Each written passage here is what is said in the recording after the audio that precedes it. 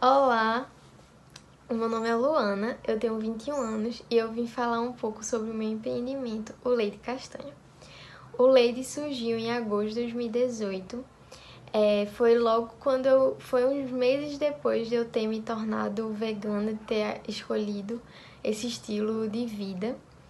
E ele surgiu assim com a vontade e com o objetivo de trazer uma alimentação é, simplificada, mostrar que as pessoas que pode ser fácil e que pode ser muito gostoso.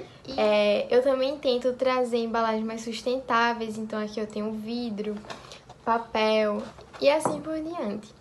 É, esse momento aí da quarentena eu consegui me concentrar mais no projeto e eu espero que, que gostem. Siga a gente nas redes sociais para acompanhar o trabalho da gente. E se um dia quiser provar, só chamar também.